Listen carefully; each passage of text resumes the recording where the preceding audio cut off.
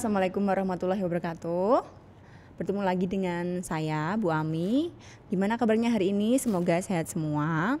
Uh, kita hari ini akan melanjutkan lagi materi ya mengenai neraca konsolidasi perubahan hak kepemilikan. Langsung saja kita ke materi.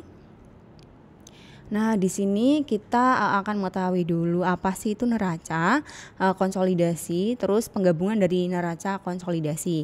Nah, di sini uh, neraca sendiri itu adalah laporan yang berisi harta atau aset, utang atau kewajiban kewajiban pada pihak lain beserta modal dari suatu perusahaan pada saat tertentu. Nah, kalian udah mempelajari ya ini di semester awal di pengantar akuntansi itu pastinya udah ada apa materi mengenai neraca. Kemudian di sini ada ada konsolidasi. Konsolidasi sendiri itu adalah dua buah perusahaan yang bergabung, bubar demi hukum uh, dan sebagai gantinya didirikan suatu perusahaan dengan nama yang baru.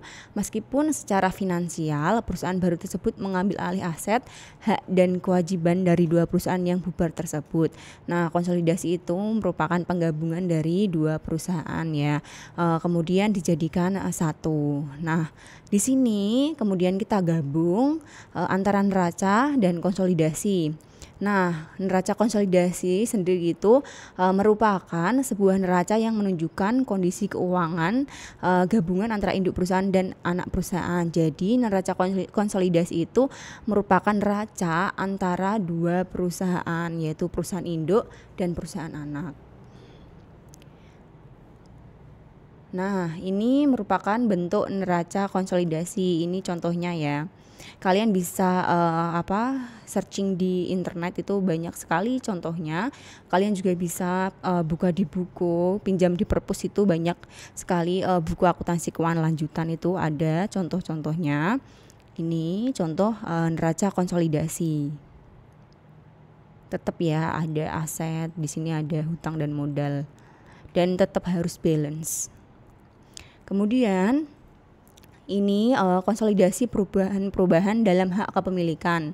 Nah, hubungan antara perusahaan induk dan perusahaan anak itu uh, lebih mudah dicapai melalui pemilikan saham daripada dengan cara merger atau konsolidasi, terutama bila dilihat dari segi dana yang diperlukan. Kemudian, melalui kepemilikan saham ini, uh, hak kontrol terhadap perusahaan anak dapat dilakukan secara bertahap. Berarti itu hak kepemilikan saham perusahaan anak itu dapat berubah-ubah.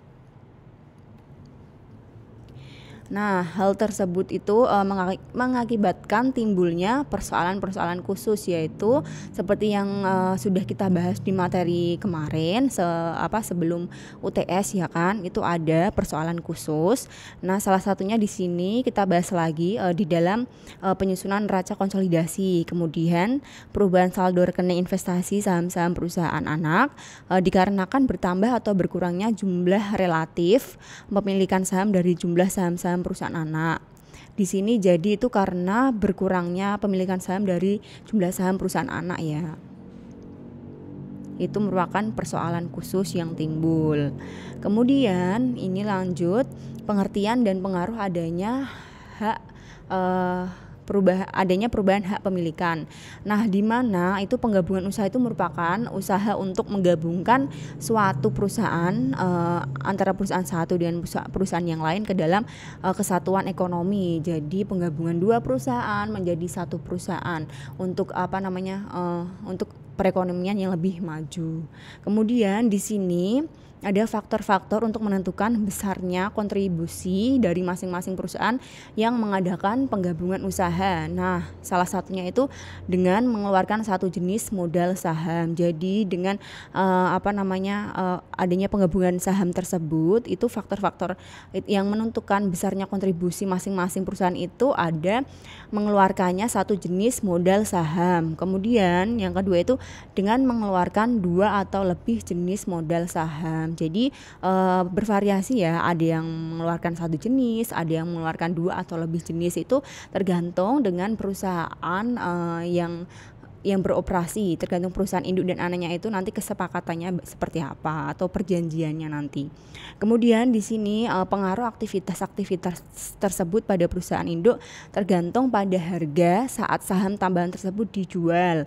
Nah, atau saham itu diperoleh kembali dengan cara dibeli.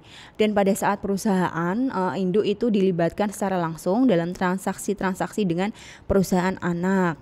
Itu uh, salah satu uh, aktivitas perusahaan induk itu tergantung dengan uh, apa namanya? tergantung dengan uh, dilibatkannya secara langsung terhadap perusahaan anak. Kemudian, hal yang menyebabkan perubahan hak pemilikan dan pengaruhnya terhadap, terhadap neraca konsolidasi. Nah, di sini ada hal-hal yang dapat menyebabkan kenapa sih hak pemilikan itu dapat e, berubah dan pengaruhnya apa terhadap neraca konsolidasi. Nah, di sini yang pertama itu ada pembelian saham-saham perusahaan anak itu dilakukan lebih dari satu kali. Nah, akan tetapi hak kontrol itu diperoleh sejak saat pembelian saham tahap pertama.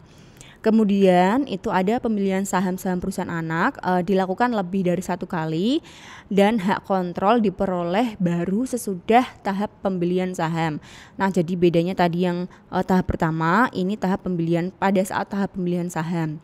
Kemudian e, ada juga pembelian dan penjualan kembali sebagian dari saham perusahaan anak yang dimiliki oleh perusahaan induk. Nah, e, jadi di sini e, ada transaksi transaksi pembelian dan penjualan lagi uh, uh, dalam perusahaan anak uh, di mana perusahaan anak itu menjual kembali saham-sahamnya uh, yang dimiliki oleh perusahaan induk. Nah, itu. Kemudian yang keempat itu ada emisi saham atau pengeluaran saham baru. Nah, oleh perusahaan anak dan satu penarikan kembali saham-saham perusahaan anak itu kepada kepada pemegang saham minoritas yang mempengaruhi ke, kepemilikan perusahaan induk. Nah, di sini itu uh, salah satunya hal yang menyebabkan itu adalah pengeluaran saham baru. Nah, kemudian yang terakhir itu ada transaksi-transaksi saham yang ditarik dari peredaran. Nah, itu intinya itu ada uh, penjualan kembali saham, ada pengeluaran saham baru, kemudian ada transaksi uh, yang uh, transaksi saham yang ditarik kembali oleh uh, perusahaan anak. Itu merupakan salah satu uh, beberapa penyebab kenapa hak kepemilikan itu berubah dan itu gimana pengaruhnya terhadap neraca konsolidasi. Kemudian lanjut, ini ada perlakuan akuntansi untuk pembelian saham perusahaan anak yang dilakukan beberapa kali. Nah, di sini perusahaan perusahaan yang telah mempunyai hak kontrol pada perusahaan lain uh, terus menambah kepemilikannya dengan cara membeli saham-saham perusahaan tersebut dari pemegang saham lainnya. Jadi di mana di sini itu misal uh, perusahaan itu tuh udah uh, memiliki hak kontrol atau pemegang saham tertinggi, namun dia belum puas dengan saham yang sudah dimilikinya. Jadi dia uh, berusaha untuk membeli uh, sebagian besar saham lain yang dimiliki oleh investor seperti itu. Jadi dia itu ingin menambah sahamnya De, uh, perusahaan kontrol atau perusahaan induk tersebut itu ingin menambah sahamnya dengan cara ingin membeli saham-saham dari investor lainnya. Nah, di sini itu ada metode harga perolehan atau cost method ya. Nah, apabila metode harga perolehan dipakai, pengaruh adanya perubahan kepemilikan saham tersebut di dalam pencatatan pada buku-buku perusahaan induk yaitu berupa kenaikan saldo rekening investasi, e, maka eliminasi terhadap modal saham dilakukan sesuai dengan hak kepemilikan saham. Ini sudah kita bahas e, di pertemuan e, sebelum UTS itu mengenai e, laporan konsolid, konsolidasi keuangan itu dengan metode harga perolehan itu sudah kita bahas kemarin. Nah, di sini kita uh, lebih lagi mendalami Kemudian di mana di sini ada perlakuan akuntansi untuk pembelian dan penjualan kembali sebagian dari saham perusahaan anak yang dimiliki oleh perusahaan induk. Nah, dalam hal ini uh, meskipun tujuan pemilikan-pemilikan saham uh, pada perusahaan anak tidak untuk diperjualbelikan, akan tetapi dalam keadaan tertentu perusahaan induk itu dapat menjual kembali sebagian uh, dari saham-saham perusahaan anak yang telah dimilikinya. Nah, apabila hal itu terjadi, itu berarti akan mengurangi hak kepemilikannya pada perusahaan anak dan juga nilai investasinya. Nah, itu jadi perusahaan Indo itu tetap bisa menjual kembali sahamnya yang sudah uh, dia beli dari perusahaan anak. Lanjut, ini ada uh, perlakuan uh, akuntansi untuk emisi saham dan penarikan kembali saham-saham perusahaan anak yang mempengaruhi hak pemilikan perusahaan induk. Nah, di sini hak kepemilikan saham itu oleh perusahaan induk pada perusahaan anak bisa berubah-ubah. Bukan saja disebabkan oleh transaksi pembelian dan penjualan saham ya. Nah, eh, apa namanya perusahaan induk itu eh, juga bersangkutan eh, dengan transaksi atau modal saham yang terjadi pada perusahaan anak. Nah, transaksi-transaksi modal saham tersebut itu uh, pada perusahaan anak akan mempengaruhi secara tidak langsung pada bagian pemilikan perusahaan induk.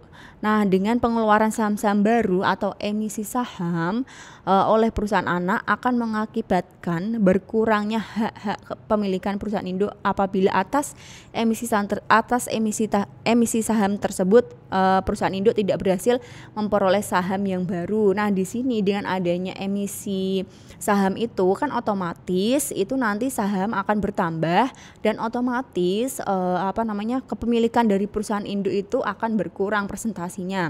Jadi di mana misal perusahaan induk tidak bisa menguasai saham yang uh, baru itu nanti ke apa nanti uh, dia itu bisa berpengaruh terhadap kontrol dari perusahaan induk tersebut. Seperti itu. Nanti bisa diambil misal emisi tersebut nanti dikuasai oleh investor lain dan kemudian investor tersebut uh, bisa memperoleh uh, saham saham terbanyak. Nah maka itu nanti uh, hak kontrolnya itu uh, akan uh, bisa beralih bisa beralih ke pemilik saham uh, terbesar yang baru. Seperti itu. Nah di lain pihak penarikan kembali itu pelunasan sebagian modal saham oleh perusahaan anak pada pemegang saham minoritas akan berakibat kenaikan terhadap persentase kepemilikan saham bagi perusahaan induk.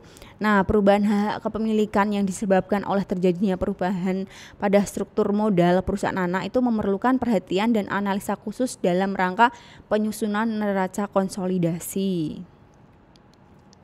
Nah, di sini ada perlakuan akuntansi transaksi lainnya yang mempengaruhi perubahan hak kepemilikan.